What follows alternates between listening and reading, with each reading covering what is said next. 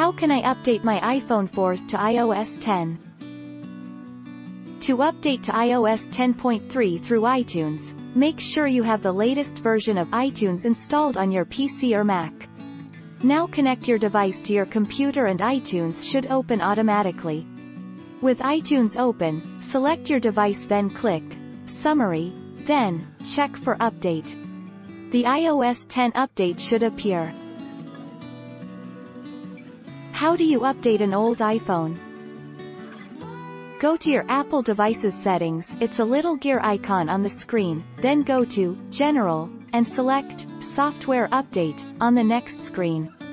If your phone's screen says you have iOS 10.3, 4 and is up to date you should be okay. If it does not, then download and install the software update. How can I update my iPhone 4 without a computer?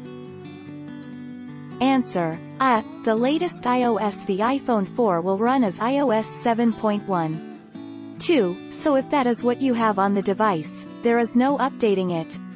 The only way to update a device without iTunes is if it has an iOS which allows OTA updates. How do I update my iPhone 4 from iOS 7.12 to iOS 10?